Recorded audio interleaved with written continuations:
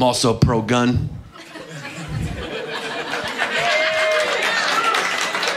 All right, looks like this is an NRA meeting tonight, huh?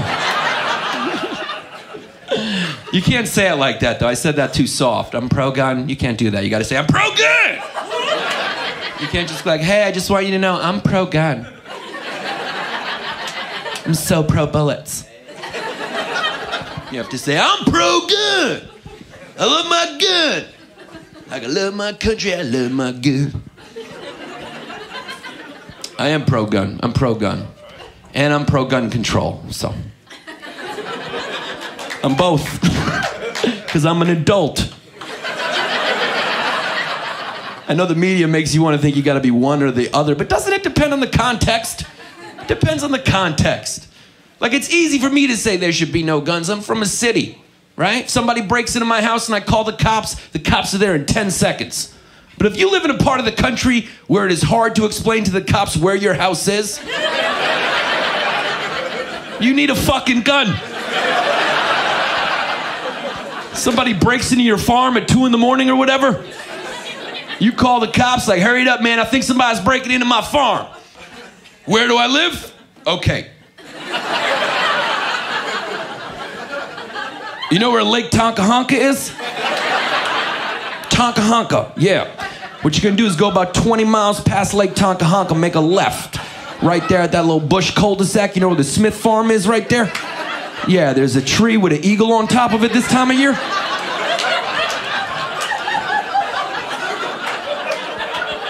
Now, you know that little path behind the horses there? Yeah, you're gonna follow that path all the way down the mountain until you come to a river. There's a canoe waiting for you on the riverbank. Row it across, hurry it up, because he's choking me right now.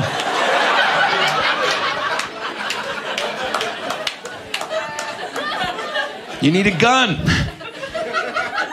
But that's all you need, man. You need a gun. You don't need like an arsenal of weapons.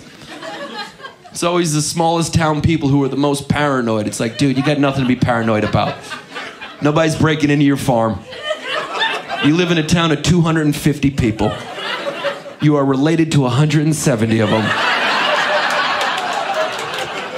If you hear someone in your farm at 2 in the morning, that's Cousin Larry getting some butter. That's all that is.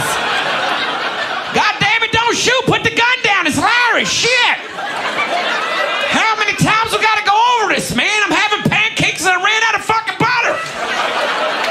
Shit! Put the gun down! Put the gun down! Shit!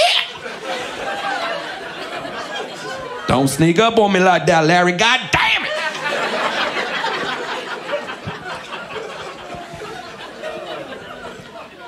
But country folk love their guns, man.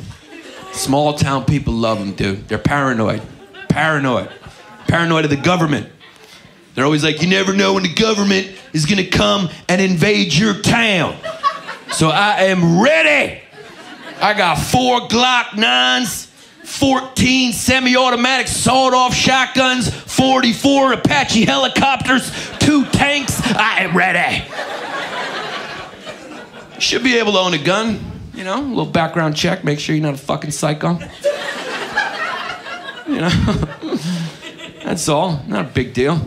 But the NRA, dude, the NRA doesn't want any regulation. That's what I love about them. I love how they pretend like they're just a moral force for the Second Amendment, not a lobby group that's employed by weapons manufacturers to make sure there's no regulation so they can sell as many guns as they want. And they hijack everyone's logic with their slogan guns don't kill people, people kill people. Which is a good point, man. People do kill people. I don't know if you've been out in these streets, there's not a lot of pelicans killing people out there. It's like, they just don't have the dexterity to pull it off. It's usually people, but sometimes syphilis will also kill you, so you gotta get that burn checked. There's a lot of things that they left off the list that can kill you. But they are right, man. You do have to give it to them. People do kill people with fucking guns. When's the last time you got mugged by karate? When did that happen? When's the last time you were walking in a bad neighborhood and a ninja just popped out of nowhere? You're like, be careful if you're walking late at night, make sure you bring your Eastern wisdom with you. There's a lot of ninjas lurking in these alleyways. Like if I was at a mall and some dude came into the mall and tried to shoot up the mall with Chinese stars, I would fucking love every moment of it. He came in, just had a pouch, and he just started flinging them everywhere on a rampage. And fucking, I'd be like, hold up, don't call the cops. Let's see how he does. This is awesome. That is not easy. If he hit me in the shoulder, I'd be like, good fucking hit, dude. That was 20 yards. I would leave it in my shoulder just for the story. I wouldn't even take it out. Tell my friends later, like, look, you would not believe what happened to me today. I was in the mall trying to get a Wetzel's pretzel, and uh, a disgruntled ninja came out of nowhere. Apparently, got fired from his dojo and uh, went on a rampage. Take a picture of it, put it on Instagram, share it. Hashtag doesn't happen every day. Hashtag blessed.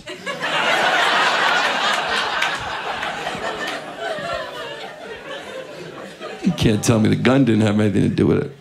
That would be a different headline, right? Without the gun. Crazy guy with Chinese stars comes in, hits one guy in the shoulder. Guy hit in the shoulder is proud. Guy with Chinese stars gets tackled by a pregnant substitute teacher and mall rats. Mall back open for business.